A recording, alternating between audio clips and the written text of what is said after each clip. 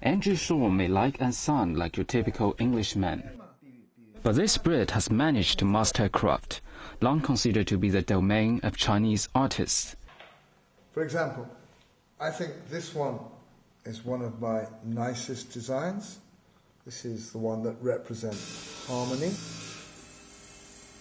Shaw is the first foreign face among China's jade carvers, and while his age may mask his experience, I'm, a, I'm an apprentice. I've only been studying for three or four years. Despite dubbing himself as a novice, Shaw is one of the country's rising stars. A former BBC reporter, he earned praise for braving war zones and covering tragedies like Tai Wan Wang.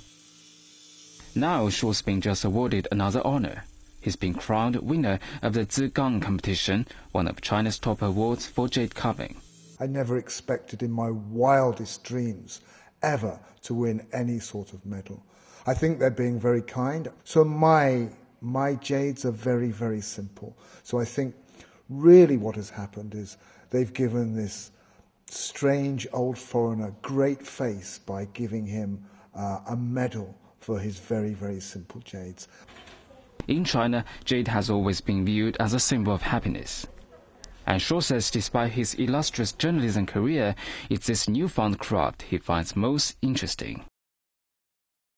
Um, my heart is young, but my hands are old. So my my jades are very, very simple. What I do is very, very different from what uh, Chinese jade carvers do, but I've learned so much from Chinese jade carvers. Here at his studio in the southern city of Suzhou, the heart of China's jade carving industry, Shaw spends his days bent over pieces of the precious stone. His called this place Mo, a tribute to his self-professed obsession with the stone. But this design in black jade represents harmony, and this is American black jade, which is very, very good black jade, carved by an Englishman who learned to carve in China. Artists say Shaw's arrival on the Chinese jade scene signals change within the Asian industry. His rise is hoped to promote more exchange between Chinese and Western artists. I may be the first, but the world is becoming smaller and smaller and smaller, and it's so easy for people to travel from one country to another.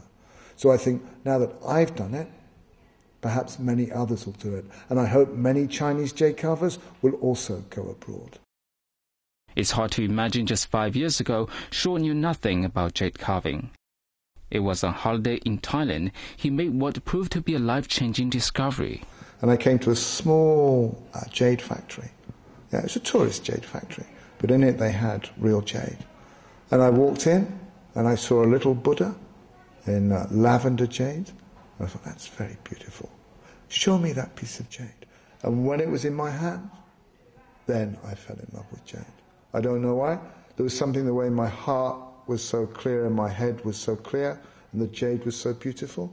While still at the BBC in London, Shaw started moonlighting as a jade researcher.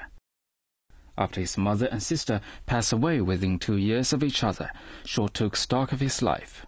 When I was a BBC reporter, most of the time, or half the time, I was not at home.